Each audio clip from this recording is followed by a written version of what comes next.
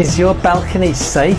So balcony railings must be 1.1 metre high, unlike stairs and ramps railings which can be 900 high. Balconies must be 1.1 metre high at least. Also, if the balcony is likely to be used by children, then the railing should be designed in such a way that a 100 millimetre bore can't pass through the railing. Also, there shouldn't really be horizontal rails because children can climb up them. So this balcony is safe for adults but not really for children.